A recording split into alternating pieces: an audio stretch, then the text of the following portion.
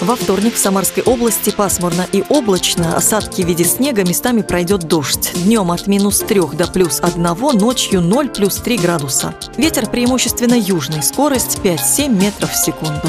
В Сызрани пасмурное небо, осадки в виде дождя и снега. В дневное время 1 градус с плюсом, ночью 3 выше 0.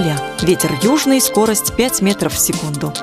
В Тольятти тучи и снег, днем нулевая температура ночью плюс 1 и дождь, южный ветер 6 метров в секунду.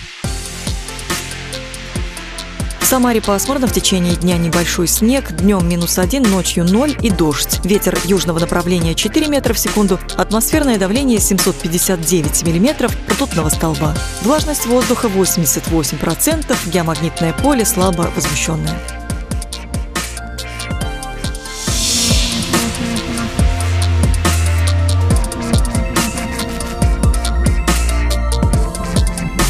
Прогноз погоды предоставлен погодным порталом esmeteo.ru.